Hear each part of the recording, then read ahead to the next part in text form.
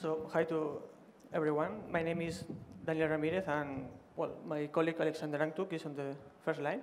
So this presentation uh, will be split in two parts. The first part will be about Android reverse engineering, and the second one about uh, some samples about Android malware that previous, uh, it was on the Google Play, but now they are removed from them.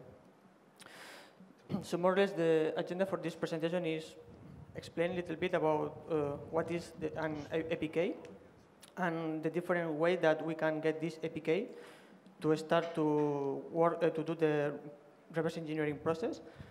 Then explain uh, difference between the compile, the Android application and disassembly, the, the application. Then introduce a little bit about what is the SMALI files.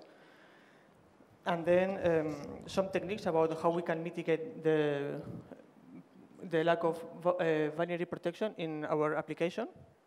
And then on the last part of the presentation, some malware analysis.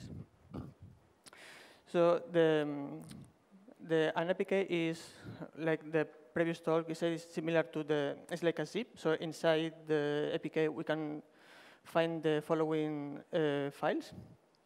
So uh, one of the most important files is the Android manifest.xml. Uh, that uh, during the um, developing of the application in, in the Android Studio, for example, is just a, like a XML file where there, um, you will define there all the permission that the application uh, need to, that, that, that, the application need to, to use it. And then after it will be like a binary file. Then the classes.dex, that there is um, where all the Java source code are compiled in the Dalvik virtual machine. Then we have the meta in folder that is where are stored the certificate of the application. Then the rest folder where you can find all the uh, resources that the application might need for, for work, like picture, sounds. Then the resources IRC, so the, the same resources that are in the folder but compiled. And then the lib folder that uh, when, for example, you are create an emulator on the Android Studio, so you, uh, you, you can you are able to choose which processor you want on the emulator, like ARM or x86. So in this folder, you, you can uh, find the compiled uh, source code for the processor. So then, um, to start the reverse engineering process, we need to get the APK to start to, to work on it. So if we have an Android device, uh, we can install, the, for example, these two tools, the APK Optic and the Astro File Manager, that uh, it will generate a backup of the application on, on, your device, and then you can, uh, with the, this APK, you can uh, work with the compile and disassembly also, we, we, can use the, uh, the Android debug bridge to pull the APK from the device. And if we don't have any device, so we are using emulator for, for the, the testing, we can use a website that is called APK Pure. So basically, we need to go through the website of Google Play and copy the URL that, uh, of the application that we want to download and paste on the APK Pure, and automatically we will have our, our application ready for to start the reverse engineering. So then uh, some difference about uh, the compiling and disassembly and APK. The compiler uh, basically is we we have like um, the Java code of the application, like a reinterpretation of, um, of the, the source code of this application. So then for us, it's easy uh, go through this Java code and read and understand what is the what are the, the, the application doing, and then we, we, can look for those uh, function or method that we want to to change for our own purpose. So then the disassembly, uh, it will be more to the low level. So we are getting the assembly code of this application. In other, in other way, we are getting the SMALI files. So in this SMALI file is uh, where we need to make all the, the changes that we, uh, we have to make the changes for our application to change the behavior. So then, uh, good question is why we have to make uh, we have to disassemble the application and not the compile for for change the the, the behavior of the application. is mm, basically because sometimes when you are decompiling the, decompiling the APK, there are some method that you cannot uh, decompile. So then it's easy to, if you want to change anything, so there are some, some functions that you don't know what they are doing. So it's, and the way that you have to do this on the Smali files, so this is where you can modify anything, then recompile, and install the, the application on your device. So for example, the, the, the, the compile is when you are developing any Android application, uh, you have your, you start with your Java source code, then you use some Java compiler, you create the jar, and then with the um, with some Dalvik virtual machine compiler, you create the, the dex file. So there you have all the, the source code. So then we start having the dex file in the APK. So then we need some Java decompiler to get the jar, and then some well, dex to jar to get the jar file, and then some the compiler to get the Java source code for, for the application. So then one tool that we can use for the compile, so go from dex to jar, well, it's dex to jar. So it's basically convert all the Dalvik uh, uh, bytecode into, into Java bytecode.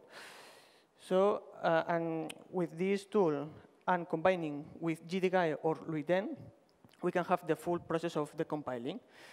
But and one uh, thing that I, I, want to focus that even both are Java the compiler, they produce different output.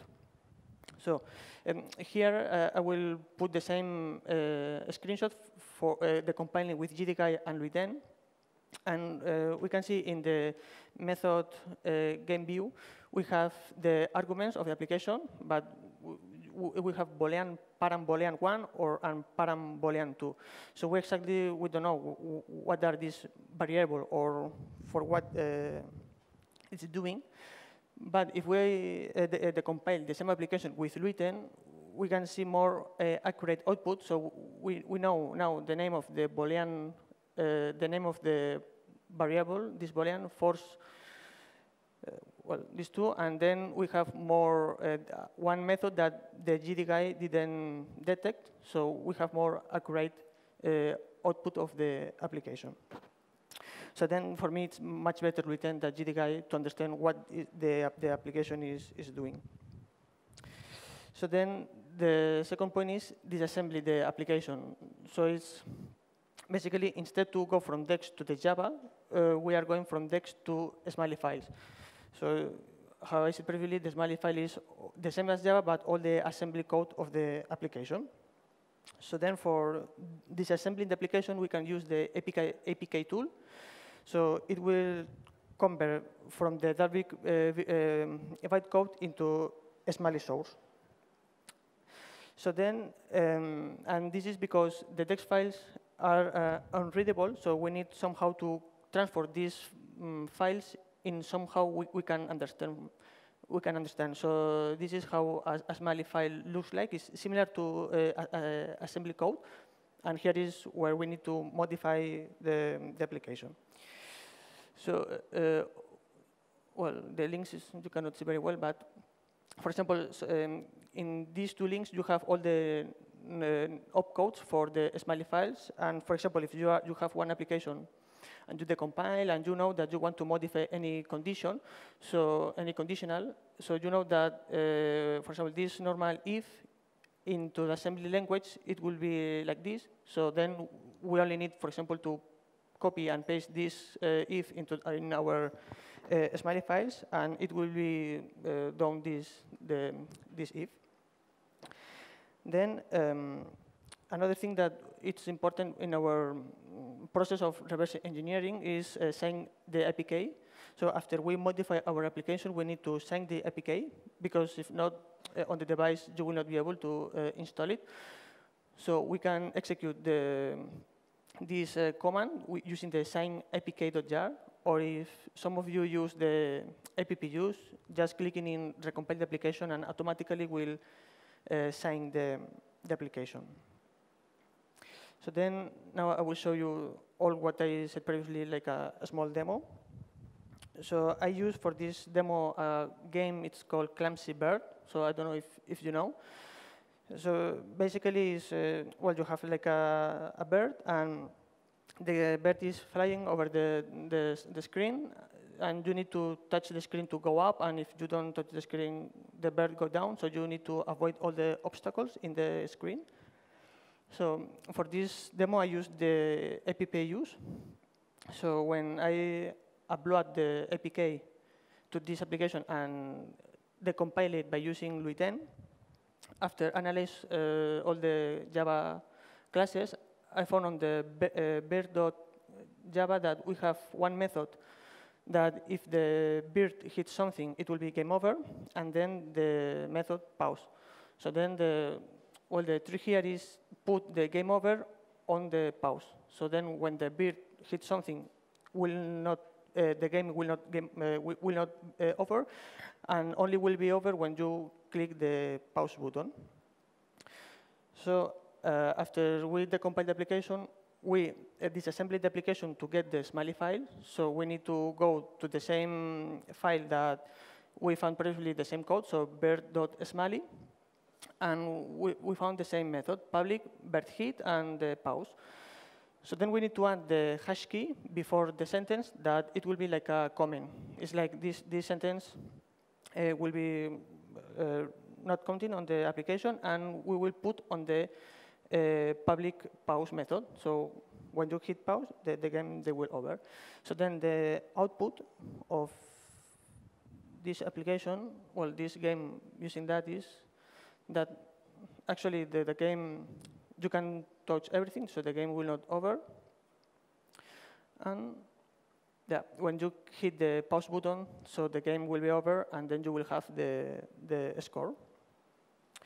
So then, uh, at this point, if we can read the source code of the application and modify the behavior, it means that doesn't have enough binary protection because in theory we should not we shouldn't be able to read the, this, the source code or modify. So then, uh, for this reason, I will show some techniques to mitigate this lack of binary protection. So one of these um, well thing is detect if the Android is rooted or not. So for, for this, we, we can check if we have the test key, so the ro.build tags on the source code, check if the device have OTA certificate. So if we don't find this certificate on the device, means that they are using a custom uh, ROM, so it's a kind of, well, rooted device um, check for sev uh, several no-rooted APK like uh, Android.zoo, or check if they have some sub-binary on the application, or query the su command, and if we get like a zero as a zero as a uh, output, so it means that the mobile is rooted. Uh, also, we can um, like embedded in the source code the signature of the application. So on the runtime, the application will will check the signature so if it's the same, the application will, will launch, and if not, so that you, will not be able to open the, the application. So here is a good way to use uh, encrypt, uh, string encryption to the signature. Then one uh, good thing is uh, obfuscate your source code. And sometimes um, the tool are able to encrypt a string in your source code. So here is the, the most known uh, obfuscation tools. And down you have uh, two, uh, two links that explain how you can like decrypt strings. So the, met the method one is they, they create some uh, parser method. So you have to like upload uh, one smali file by one, and they will try to uh, decrypt the, the string. And the second one, that this is uh, one month uh, old, so it's quite new. It's called Dex uh, Oracle.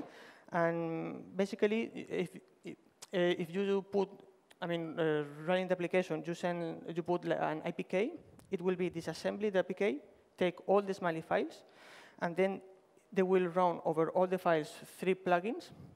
That one is for if you are using obfuscate, uh, obfuscation with Dex Protector, then another one if you, if you are using uh, some Java, or Java encryption or common state encryption. So they will try to uh, run this plugin, find any pattern or, or the encrypted, encrypted string, and give like an output, uh, a clear output. So here is uh, what is the um, well source code uh, with the obfuscation, and after running the, these tools, we can see like, everything that is decrypted. And so after the, the decrypt application, it will create the APK, so we can decompile and do all the reverse engineering process.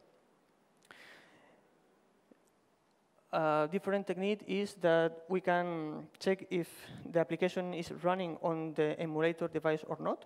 So we, we can check by uh, if the hardware contains the, the goldfish or if you have the QA, uh, QEMU one, so it means that you have one device emulator and, and so on. So the application probably will not be open if you are use, put this, this in the code.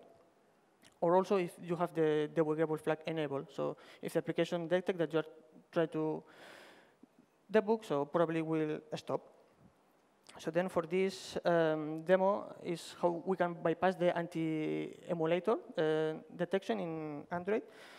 So here we have in our device one application that we try to open, but we cannot because it's running on an on an emulator device.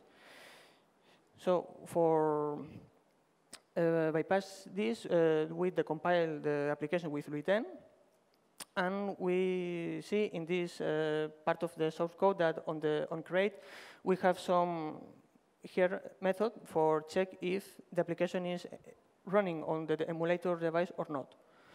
So then we follow the same process as before, the, the compile the application. We modify the, the smali files with the hash key to um, remove this, this uh, sentence. And then the final output will be like, actually we can uh, open the, the, application on a emulator device. So it's normal hello world. So for uh, recap, all of these, well, the first part, the first part of the presentation is uh, we, we have seen how we can um, modify the behavior of the application by disassembly and modify the Smali code. And then some techniques to uh, try to prevent this lack of binary protection. So for well, the second part, I will talk about some malware in, in Android. So as well, you can see in, in the in this uh, uh, statistics graph, in 2011 they have like 126 on the first half, and in the second half almost 4,000 malware. So after year year, the malware uh, has increased. So in 2014, it's sorry, almost uh, 750,000 malware, so probably now in 2016 will be uh, more than, than this. So it's something that is quite dangerous. So for this, um, well, for this malware, uh, all of these malware were on the Google Play, were uh, removed from from the Google Play, but now you can find it in some web websites. So I use it for purpose of this presentation. So this is like the game Flappy Bird, one variation. And here we can see that they are using some permission for sending SMS. So it's just a, a, normal, game, a normal game, and they are asking you to give permission to send SMS. So it's something that is suspicious because a game doesn't need to have this uh, feature. So this is like the famous, the famous premium SMS. So in the background, they are sending SMS, and you have to, to pay for that, but you don't know. Then uh, another malware, so here is similar on the manifest, they are using for sending and receive SMS. So it's again, so there are permissions that some applications they don't need to, to have.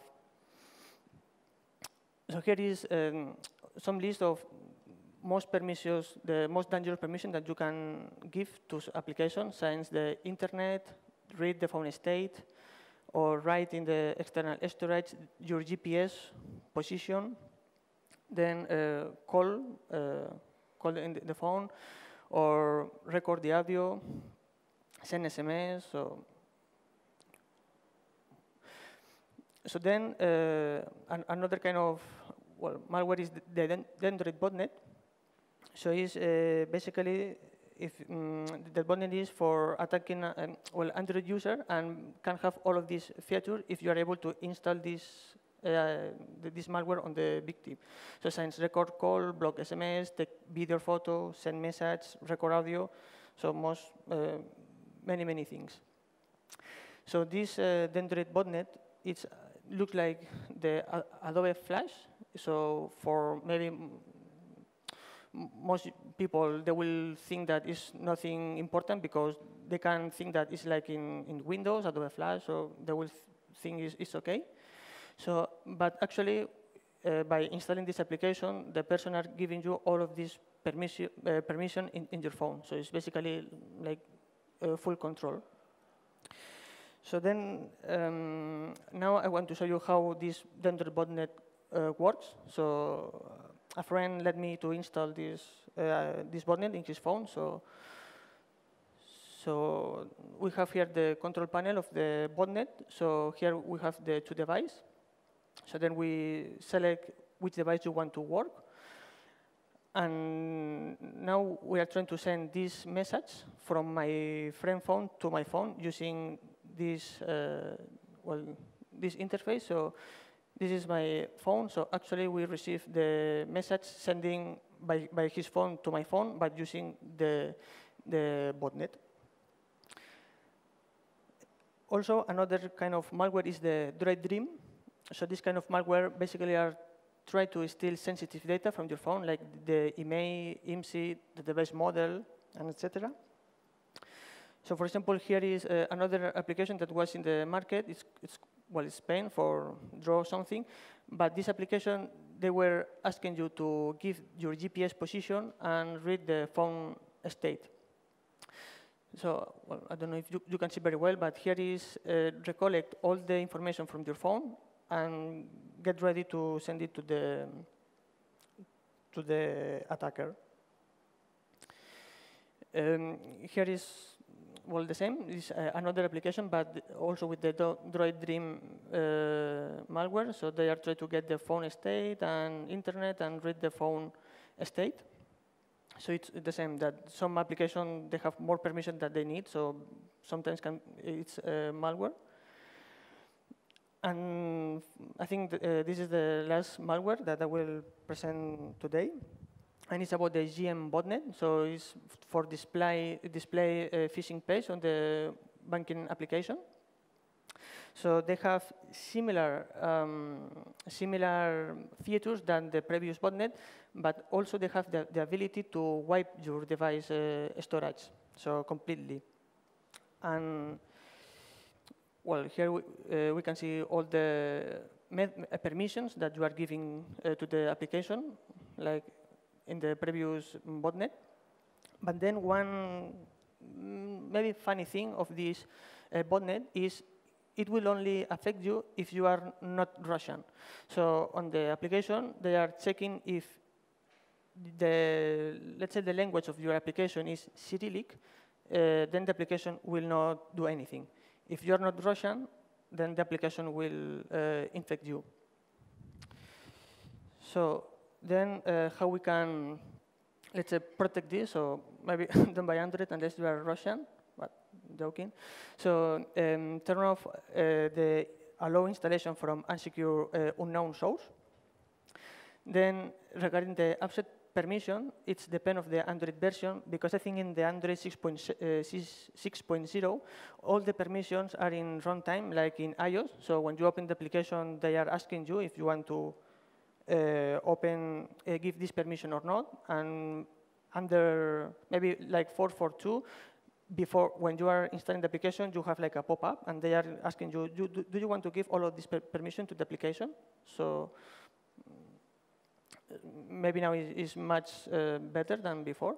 So never open any attachment from unknown sources, and also never click on any link or SMS from that someone can send you to your phone. So I don't know if someone have any questions.